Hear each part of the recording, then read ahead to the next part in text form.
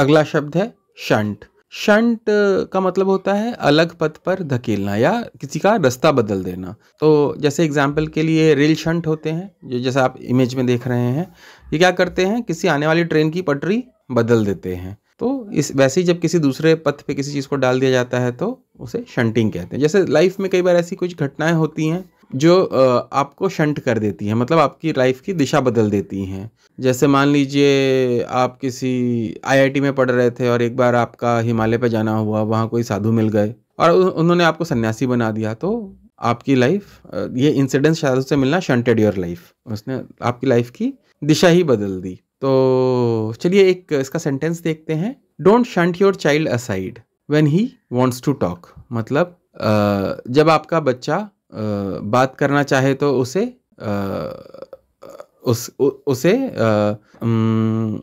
किनारे नहीं करना चाहिए या उसको धक्का नहीं देना चाहिए या उसको, उसका, उसको मना नहीं करना चाहिए और साइड नहीं कर देना चाहिए। तो मुझे आशा है कि आपको शंट का मतलब समझ में आया होगा। धन्यवाद।